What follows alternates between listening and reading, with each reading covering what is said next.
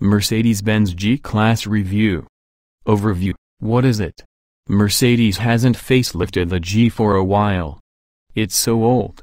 Nobody's quite sure how many facelifts it's had, like the Land Rover Defender. This is a bygone-era 4x4 designed when SUVs were built to go off-road.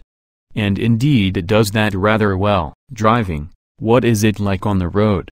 With the most recent facelift, Merc tempered that the on-road compromises somewhat, but it's still jostly and tiptoey. The steering needs a lot of lock before the G starts to track, at which point it weights up considerably, and soon after the nose gets rather vague as the front tires yield to physics, often before the stability control has got a sniff of what's going on.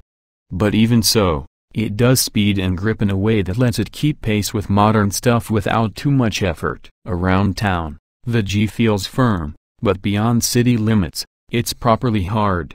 You can see why this is. Merc has sought to improve body control by fitting stronger springs to limit roll and improve cornering ability. They work alright, but the trade-off is that the G hops and skips where say, a Range Rover wouldn't. The auto gearbox may have 7 speeds, but it's slower to choose between them, plus the engine is more raucous and less keen to respond quickly and accurately. On the inside, layout, finishing space. Inside, the Geländewagen still has the look and feel of a proper utilitarian vehicle. It's right there in the slabby trim and square-edged plastics, the lack of ergonomic friendliness, the way the doors have to be hurled shut, the roof guttering and dado rails round the flanks, and the careless width of the panel gaps.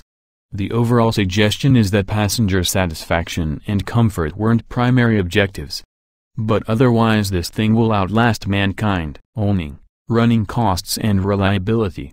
34 miles per gallon for the 3.0-liter diesel and 261 grams km of CO2, or 24.8 miles per gallon for the 5.5-liter AMG V8, complete with 322 grams km of the nasty stuff. Also starts at nearly 88,000 pounds for the diesel or 131,000 pounds for the AMG. So not cheap, then. Verdict, final thoughts and pick of the range. A bygone era 4x4, designed back when SUVs were specifically for going off-road.